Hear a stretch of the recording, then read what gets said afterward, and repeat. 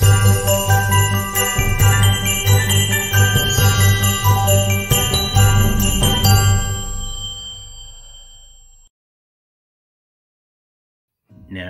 when it comes to television, you expect that there's going to be upcoming new programs or that there's a new ownership taking over the television network, which has been a predecessor to the WB for the last 17 years since the closure of the WB.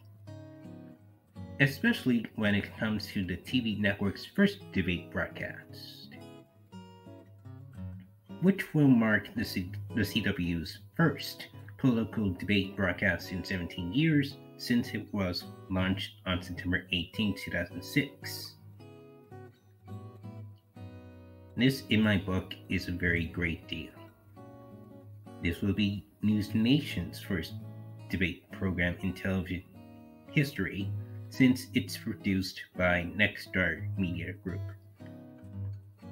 Now, CW is finally becoming the television network I've been dreaming of since the era of the Tribune broadcasting days when they once owned the WB. And I'm very excited about this and can't wait to see how it turns out.